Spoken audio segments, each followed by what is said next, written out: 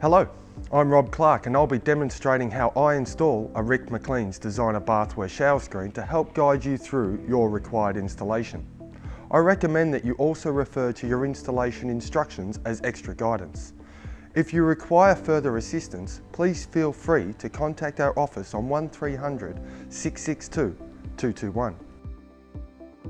We highly recommend watching this preparation video for safety precautions, helpful installation tips and warranty information. Click the link on the screen. Before we commence, I would like to reiterate the absolute importance to check, measure the minimum and maximum measurements, ensuring your Rick McLean's designer bathware shower screen will fit the required area. I also advise to check the levels throughout the installation process.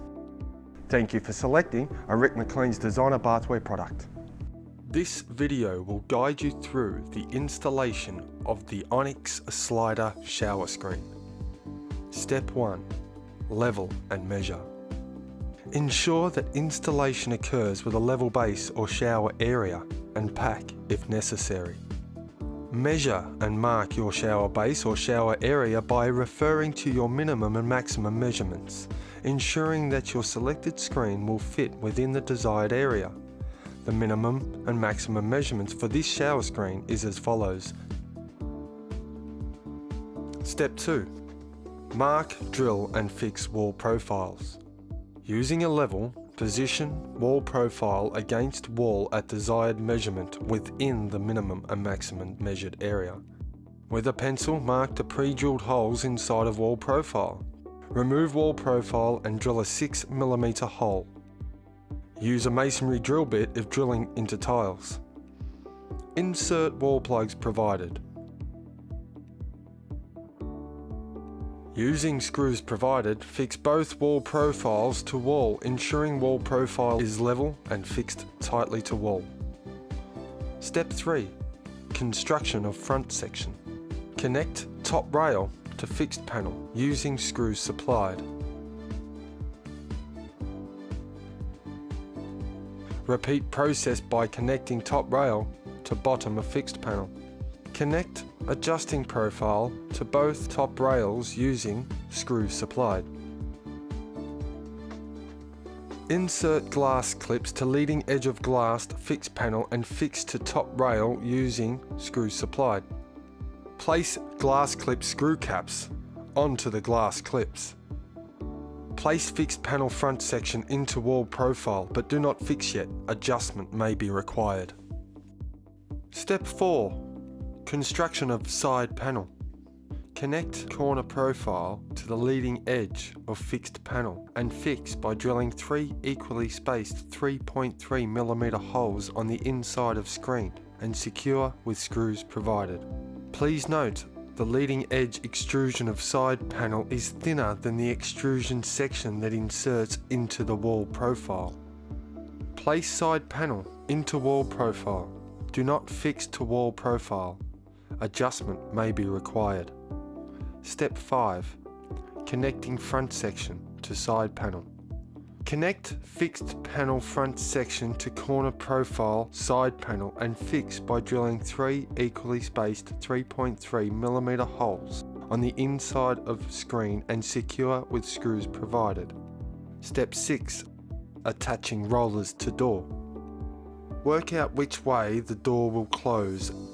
Top rollers are fixed and adjustable and bottom rollers are spring loaded.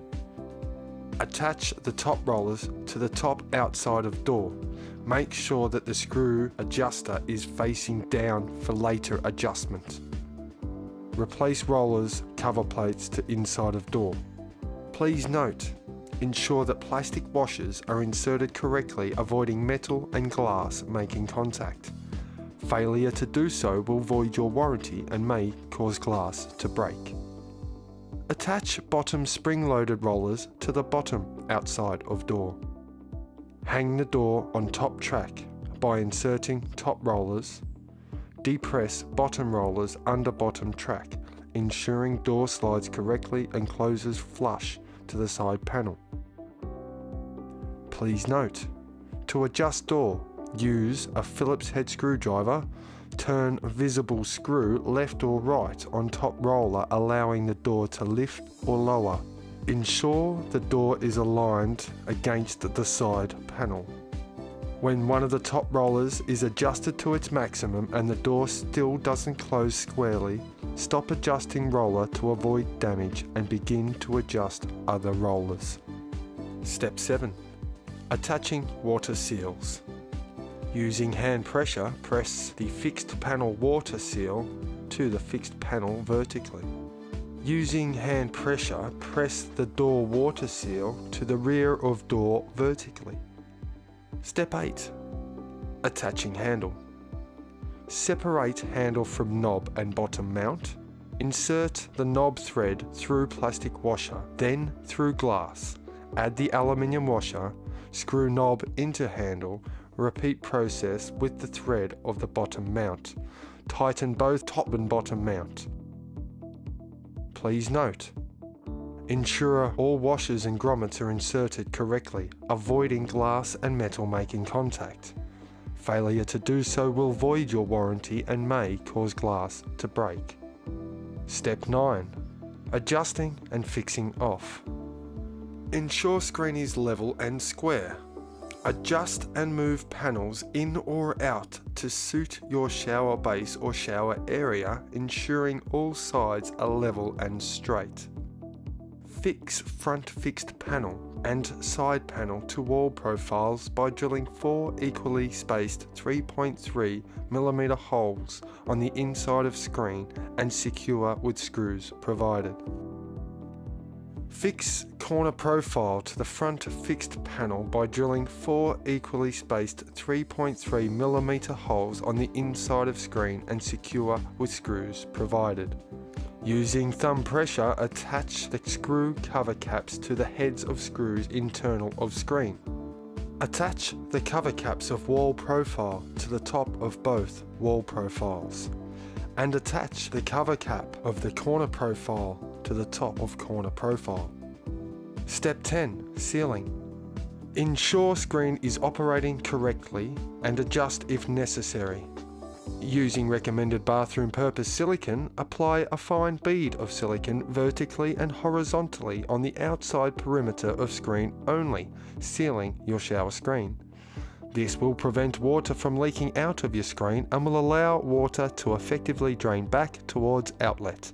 Do not use shower for 24 hours allowing silicone to set.